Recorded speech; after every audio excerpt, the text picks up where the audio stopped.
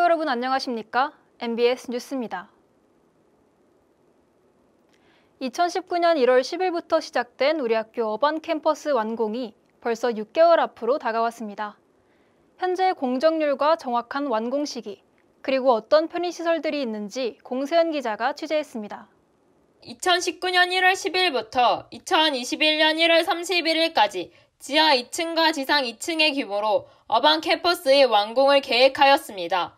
어반 캠퍼스의 공식 명칭은 인문 캠퍼스 교육 복합시설로 지하에는 다목적 강당과 주차장, 학생식당, 강의실 등이 생겨날 예정이고 지상에는 교수실, 행정실, 강의실, 운동장 등이 시공될 예정입니다.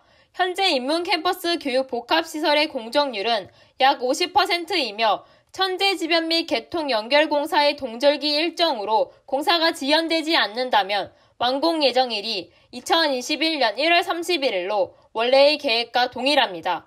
해당 시설은 교육연구시설과 복지 편의시설로 활용될 계획이기에 편의시설 입점에 관련하여 많은 학우들의 궁금증을 더해가고 있습니다. 이에 대하여 공사 담당 관계자는 구체적인 종류의 편의시설은 확정된 바가 없고 서울시 세부 조성 계획 가이드라인에 준수하여 법정 가능한 종류의 편의시설이 입점할 계획이라고 밝혔습니다.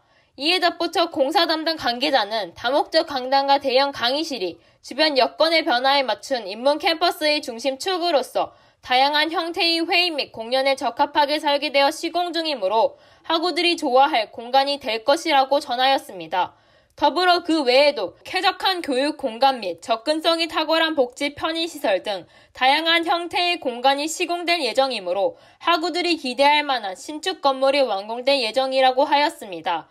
이뿐만 아니라 인문 캠퍼스 교육 복합 시설은 인접한 주변의 변화에 맞춰 캠퍼스 중심만이 아닌 지역 전반의 중심으로서 교육과 복지 그리고 문화의 중심으로 자리매김하는 미래의 계획을 꿈꾸고 있다고 하였습니다.